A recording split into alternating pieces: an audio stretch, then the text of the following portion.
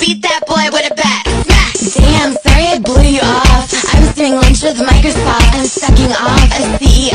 If he's not a millionaire, then I've got